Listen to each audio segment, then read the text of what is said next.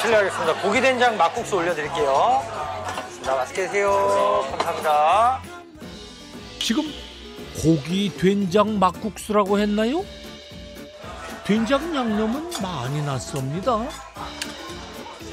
처음에는 일반적인 물막국수, 그 빨간 양념의 비빔막국수 이렇게 했었는데 좀 뭔가 새롭고 독특한 메뉴가 없을까 해서 고민을 하다가 우리가 그 닭고기 쌈장 만들어 놓은 게 있잖아요. 그게 되게 괜찮게 나와서 그거를 활용한 소스가 새로운 소스가 없을까 고민하다가 이렇게 만들게 됐습니다. 과연 그 맛은 손님들에게도 통했을까요? 입안에서 퍼지는 된장 양념 소스의 맛 어떤가요? 엄청 고소하죠. 오, 이분은 아주 그냥 제대로 맛 흡입 중입니다. 되게 고소하고요. 그 된장 향이 또 센 것도 아니고 적당히 감칠만 있으면서 되게 좀 생각보다 잘 어울리는 것 같아요. 너무 맵거나 짜지도 않고 그 슴슴하니 참기름이랑 같이 섞이면서 그 여기서 자가제면 했다는 그 면의 향을 훨씬 더 많이 크게 느낄 수 있어서 너무 맛있었어요. 여기서 스톱. 자, 자, 기억을 되살려 보니 그래 장작들 위로 보였던 공간이 제면실이었군요. 이제 갑부가 제면실로 들어갔고 자가 제면에 대한 모든 진실은 곧 밝혀집니다. 막국수 면을 재면을 할 건데요. 이거는 제주산 쓴메밀입니다.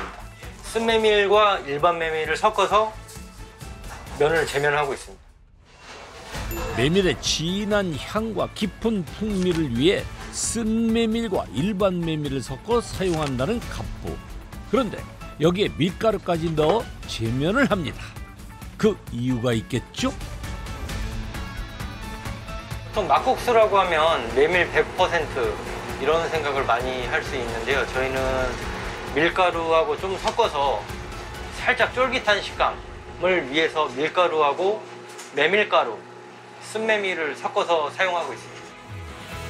그리고 의문의 숫자를 적기 시작하는 갑부인데요. 대체 이건 다 뭔가요? 날씨하고 습도예요.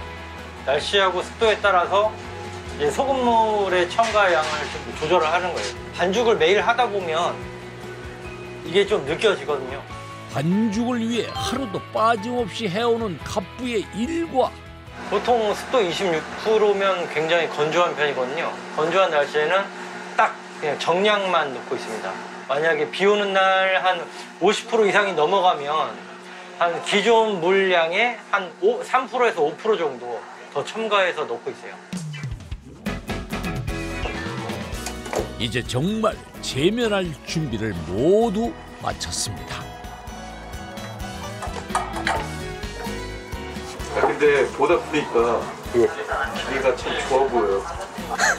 이렇게 자랑해도 돼요.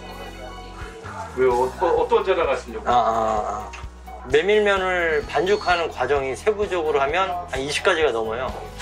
근데 이 기계는 한 20개의 과정을 한 3, 4가지, 3, 4가지 과정으로 확 줄여줍니다. 그래서 많이 비싸고요. 관리하기도 까다로워. 얼마인데요? 2,300만 원이요. 아, 이게요? 와, 진짜 비싸. 저는 예, 기계 갖고입니다. 어느 때보다 조심스러운 손놀림의 자칭 기계 갑부. 이 모습을 보니 불현듯 왜 굳이 이 어마어마한 금액의 제면 기계까지 들이며 막국수 면을 만드는 건지 궁금해집니다. 닭은 우리 몸에 열을 좀 올려주는 음식이고 메밀은 좀 상대적으로 낮춰주는 그런 환상의 조합인데요. 어, 기왕 메밀을 할 거면 뭐 제품을 받아 쓰는 것보다 좀 건강한 식재료로 저희가 직접 재면을 해서 손님들한테 제공해야겠다 생각했습니다. 제면을 어디서 배우셨어요? 예, 재면은 제가 호텔에서 근무했을 때 일본에서 그 셰프를 초청하는 프로모션이 있었는데요. 그때 좀 배웠고요. 잠깐만요. 호텔에서 근무했다고요? 외주업체 아르바이트로 일을 하게 됐는데요. 그 지금 정직원을 뽑는다고 한번 시험 한번 봐봐라 라고 해서 정직원 시험에 도전하게 되는데 정말 운이 좋게도 잘 합격을 하게 된 것 같아요. 그래서 뭐 총 계약직부터 뭐 정직원까지 하면 한 4년 정도의 호텔 생활을 했었습니다. 당시 유명 호텔의 일용직 아르바이트를 시작으로 정직원의 자리까지 올랐던 헌석 씨. 그 도전은 결코 흔치 않은 일이었다는데요.